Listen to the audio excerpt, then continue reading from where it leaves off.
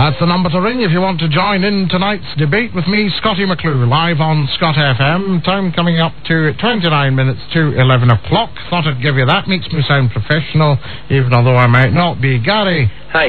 Yes. Uh, started your phone, Scottie. That's very kind of you. Thanks very much. Tina. Hello, Scottie. Hello, Scottie. Tina, darling. What are you doing on my program, wee thing? Why am I not allowed your program? Well, you're allowed in my program, but you usually only come on Fridays, like. I know, but I'm working late this Friday night. Oh, you're working late. So I decided to phone you. How late? To 12. How late do you work? to 12 o'clock. How are you? To 12 o'clock? Yes. the mouse ran up the clock. What? The mouse ran up the clock. The mouse ran up many of things. How are you, darling? The mouse rang up your what? right, Scottie, see when you introduced this program. Yes, darling. It's really starting to get annoying me, Scottie. Why, why is it annoying you? Because you say, right, you say, um, have a blather with your fellow Scottish Scottish people, right? Uh, excuse me, I have never in my life said, have a blather with your fellow Scottish people. What are you at there, Ian? What are you at, wee thing, eh? You swinging your shillelagh at me, eh? I'll make you an Ulster fry. You want to come and stay the night with me? I'll make you an Ulster fry in the morning with black pudding. I'll give you, I'll give you a big white pudding in the morning. That'll strengthen you up for the day.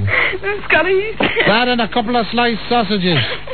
Hey, you wouldn't last tonight, Scottie Flower. wouldn't last tonight, but with an Ulster fry. you don't get your Ulster fry in the morning. I'll give you an Ulster fry as soon as you arrive and another one in the morning. no, Scottie, you said you could join in some entertainment with your fellow Scottish people. Excuse me, could I have a little sip of what you're on? Hey? You're a big darling. Are you're a big darling. You're a big darling. Are you So what? going to sing to me tonight? No, I'm not going to sing you a wee song at the moment. you? When Irish eyes are smiling, Oh. just a song at twilight. No, it's just When- a cross. The what? The Irish sea. Just a cross. I think that's what they sing in the third class lounge on the mailboat. I tell you, Scott. The way back I tell you. when they've got a well, sing that song. well, they've got a large one in them. If you'll pardon the expression. My people always have large ones in them, Scott. Is that right? well, that would that would at least explain something. That would explain something, wouldn't it? you tell. Are you telling me they've been swinging their shillelaghs and kissing the Blarney stone? they can swing many things, Scott. I'll tell you, a frying I'll pan's tell always you. good for a couple of bangers. Scott, I'm supposed to be off work sick. If you're Irish, come into the oh, parlour. Just across the Irish sea. It's terrible, that. Scott, I do not think I can sing. How did you get on in singing in school? Singing in, I was in the choir. Were you in the choir? Yes, I was in the choir. Oh, well, I'm glad I missed that. At least maybe the rest of them would drown you out. Thank goodness you went solo singing. I don't do the pieces in church, Scottie. How dare you? You sang the pieces in church? Yes. Oh, my goodness.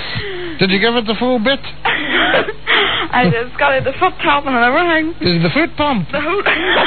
You gave it the foot pump. Did that help your singing? Ladies and gentlemen, I'm now going to sing and I've got the foot pump on the go. So that should help you here at the back there. You'd be able to hear us up at the back. Because I've got the foot pump on me. now, do you think that they need to hear me at the back of the foot pump? Do you know? They'll be able to. enough? They'll be able to hear you. If you can hear us, put your hand up. I said, if you can hear us, put your hand up.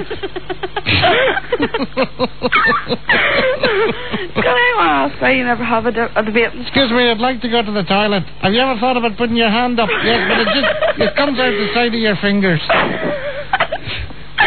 Why do you not? Yeah, well, I told you not to mention names. You've done it now, and I told you not to talk about football. do you You not like football? What do you mean, do not like? It's nothing to do with liking it. It's just that it's something we don't talk about on here. Oh, do you not talk about it? This is a phone in for the ordinary people. I, but do you think I am? You're you're one of those upmarket silver spoon in the gob people. I am. I am not. A little bit posh. I am not. Brought up with a good few bob behind you. I had a good few things behind me, but it wasn't Bob. Er I'm telling you that. A good few bob. it wasn't. You it can't tell how many bob the bill is.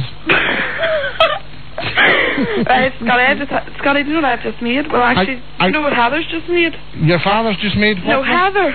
Oh, Heather. Yes. Heather. I live with Heather. Heather's just made lentil soup, Scottie. Has she made an Ulster fry? No, she hasn't. She, she didn't make.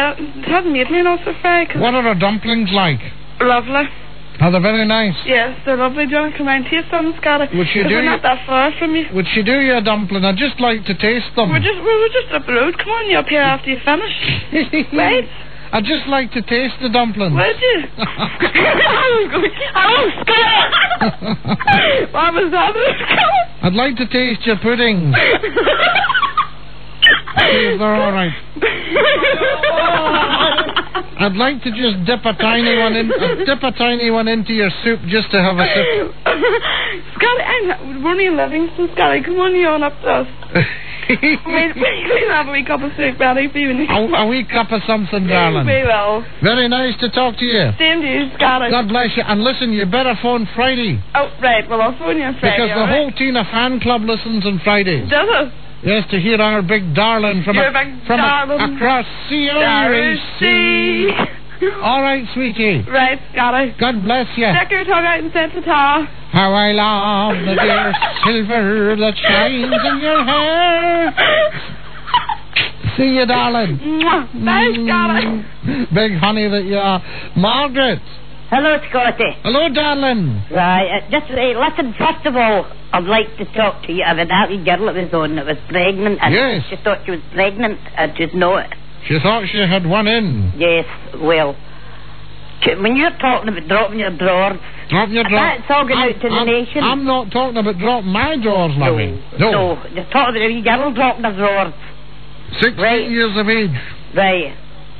Do you think that's a nice expression to come away with over to, to millions of people? Very nice expression. An awful lot nicer than some of the ones you would come out with. And plus the fact that Irish latter that was on there, if that's what you coined. You can't even control your language, you old bag. Right, there we are. She's gone. Now then, Margaret, are you there, Margaret?